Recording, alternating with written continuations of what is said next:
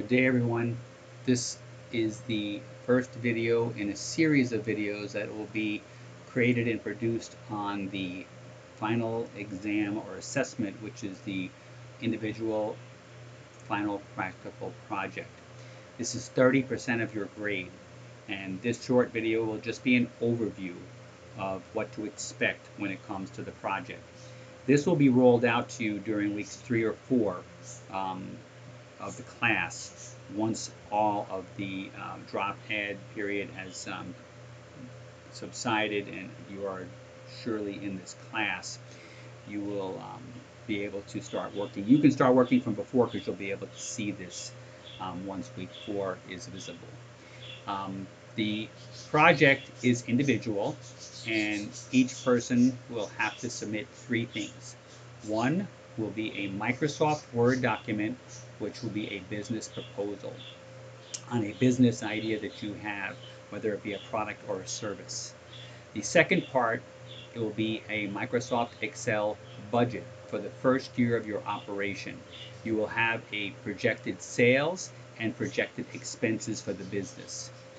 Your last part will be your video presentation. It will be a 15 minute video presentation of your proposal and your budget. Okay? Um, some key dates uh, after the project rollout where the rubrics will be explained to you. Um, Sunday, September the 12th, 11.59 p.m. You will have your project update number one. Um, you will submit, each student will submit a one-page Word document with the type of business or service that you'll be doing your proposal on. So for example, if you'll be doing a transportation company like a taxi business, or if it'll be a bus company, or if it'll be a travel company, or a restaurant, or empanada shop, or um, a laundry shop, whatever it will be, you will basically tell us what that business will be, okay?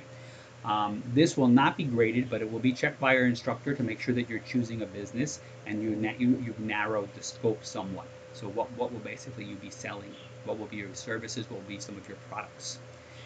These are all things that are subject to change throughout your, your project until you do your final submission because um, you may find things that work and things that don't work and you'll have to be flexible just like you would in real life. The following week, Sunday, September 19th, the um, project update number two will be, will be due.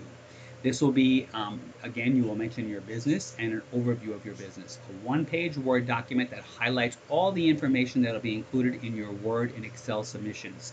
So basically an outline of each um, submission. What will be like your, your uh, table of contents? What headings are you going to use for your business proposal? and what will be some of your um, categories of sales where are you going to where is going to be your revenue generation coming from and where is going to be your um, bills and your expenses what type of what type you expect okay so those are the first two submissions and they are both not graded um, but they are required so that you're on track. Remember that just because something's not graded doesn't mean it's not important okay? Um, the next thing is your uh, in week six we will have a uh, Q&A during that week. Your class sessions will be predominantly um, around devoted to the project and any questions that you have on the project. By that time, you'll have at least two to three weeks to be able to do some work, and you'll also have submitted your project update one and two. So you should start, um, your project should start take, taking shape, and you should have some questions. Sunday, October 3rd, you will um, have your your draft of your business proposal completed and you will give it to one of your fellow peer students in your section to have them review it and using the rubric they will um, complete a graded rubric with comments they will attach it to it and give it back to you and you will submit that by Sunday night October 3rd 11:59 p.m. This is basically a check and balance for you to get another person's point of view. These will not be graded by your instructor. These will be graded um, by your peer-reviewed partner, right? Um, so this is important for you to get feedback from someone else who's working on the same project as you and give you some feedback from uh, someone else who may be doing something similar to you or even something different than you when it comes to the business, product, or service, but just to give you some insight. The next item will be Sunday, October 24th, and very similar to the to the one October 3rd.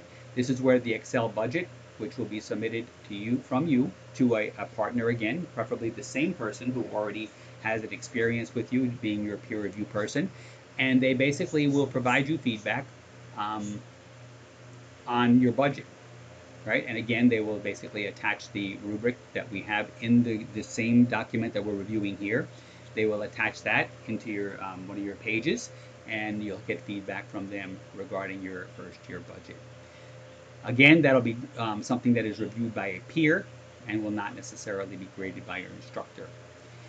Sunday, November 21st, your final project and presentation is due by November 21st, Sunday, um, which is the um, 14th week of classes, 11:59 p.m. The business proposal and budget with all suggested revisions as you, as you deemed necessary from your peer review and from your feedback from your initial um, project updates one and two, and any questions that you had from your lecturer. Um, you will send in three things your business proposal, you will send in your Excel budget, and you will send in a Word document which will have the link to Google Drive or YouTube, um, which is has the um, which has the um, permissions to where the person is granted to be able to view it.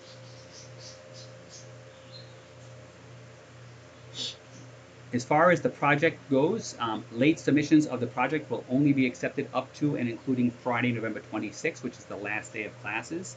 Those received after November 21st will be penalized 10%. Nothing will be accepted or graded after November 26th. Okay? Um, in this document, you will see um, the word rubric, right, which basically is here.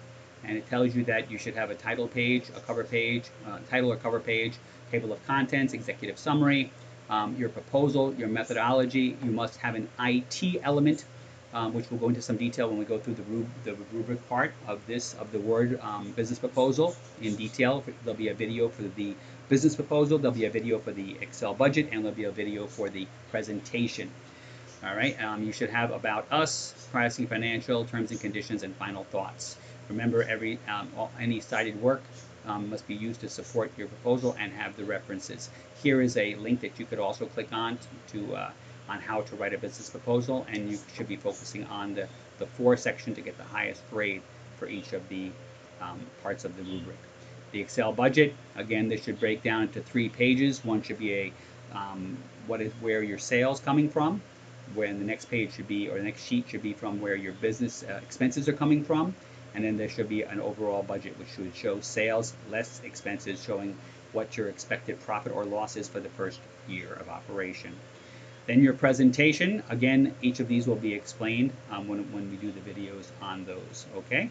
So this is currently located here, um, right under, I believe it's week number four.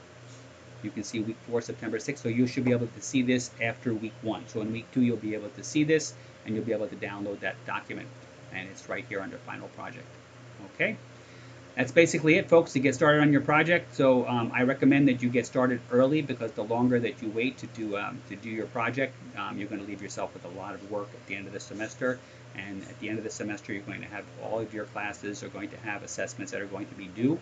And I, I, I uh, pride myself on the fact that you get this early so that you can start it early. So please take advantage of the fact that you have it because you will be overwhelmed at the end of the semester with all of your different final exams and course projects that you have due. Thank you very much for your time and for viewing this video.